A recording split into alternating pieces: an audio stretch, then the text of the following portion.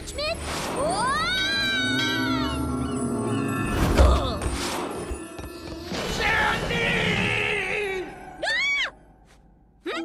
That's Dr. Payton! I'm down here! What happened to you, Dutchie? What's it look like? A witch trapped me inside a crystal ball! Now get me!